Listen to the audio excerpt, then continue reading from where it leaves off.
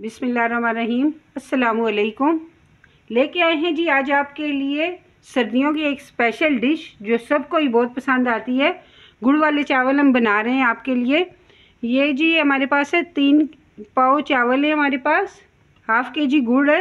इसके अलावा ये कुछ नारियल है हमारे पास, किशमिश और one and half tablespoon हमारे पास सौंफ है जो मैं इसमें इस्तेमाल करेंगे। चूल्हे पे हमने पानी रख लिया है। पहले चावलों को बॉईल करेंगे। अब ये गर्म हो जाए तो फिर मिलते हैं। पानी हमारा गर्म हो चुका है।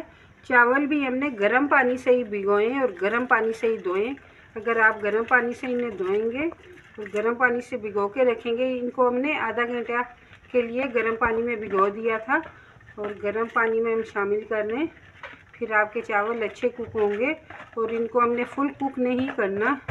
तेज़ आँच कर दें और इनको हमने 80 टू 85 परसेंट तक कुक करना है। बाकी ये दम में पकेंगे।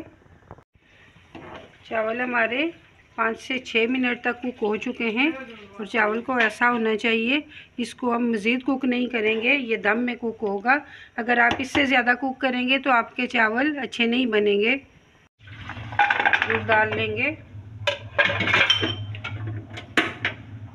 हाफ़ कप अब इसमें हम पानी शामिल करेंगे। ज़्यादा पानी आपने नहीं डालना। इसको पकने देंगे गुड़ को अच्छी तरह।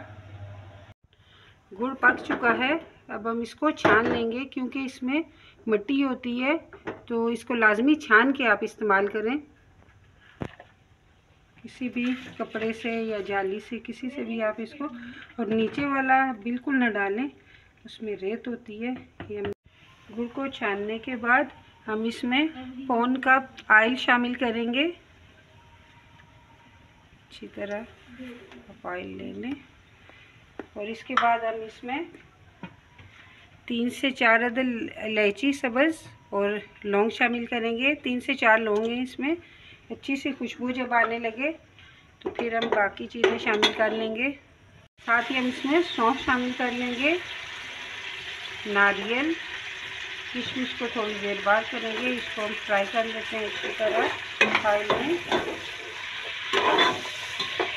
साथ किशमिश शामिल कर लेंगे। किशमिश आप अच्छी तरह धो के शामिल करें।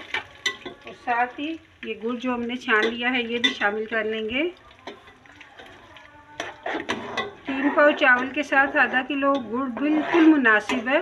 अगर आप तेज़ मीठा खाते हैं तो आप इसे ज़्यादा इस्तेमाल कर सकते हैं। गुड़ डालने के बाद थोड़ी देर कुक करके हमें इसमें चावल शामिल कर लेने जो हमने बॉईल करके रखे हुए थे। अच्छी तरह चावलों को गुड़ के साथ मिक्स करने के बाद ये अखरोट गिरी हमने, पाँच से सात अखरोट ले लिए जिनको बारीक हमने हाथों से ही मसल के छोटे कर लिए टुकड़े। तो ये डाल के हम इसको तकरीबन 10 मिनट के लिए दम लगाएँगे। चावल हमारे तैयार हो चुके हैं, इनको दम आ चुका है। अब हम इनको डिश आउट करते हैं। आप देख सकते हैं कि कितना शानदार सा हमारा रवायती मीठा तैयार हुआ है। चावल हमारे गुड़ वाले तैयार हो चुके हैं। लाजमी आपको पसंद आए होंगे। आप लाजमी इन्हें ट्राई करें। अगर आपको ये मेरी वीडियो अच्छी लगी हो तो इसको लाइक करें शेयर करें और चैनल को सब्सक्राइब करें।